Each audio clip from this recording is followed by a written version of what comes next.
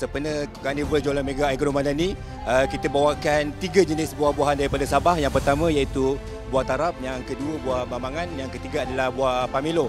Uh, lebih dikenali sebagai buah limau bali lah. Ternyata daripada hari pertama pelaksanaan program ni sampai hari ketiga, buah-buah daripada Sabah memang mendapat sambutan yang baik. Kalau kita tengok kat belakang, uh, memang buah tarap di antara yang orang yang tak sangka dekat Semenanjung ni ramai peminat uh, buah daripada Sabah terutamanya buah buah tarap. So hari Jumaat, Sabtu, Ahad tiga hari ni kita akan membuat happy hour satu jam pada setiap hari. Ni first time saya datang untuk Fama di Melaka lah. Uh, so saya baru masuk. So experience ni agak uh, menarik lah. Banyak barang-barang apa makanan dijual kat sini. So tadi saya baru round uh, kedai kerepek ada and then ada kedai donat, kedai buah-buahan, so macam-macam jenis jugalah.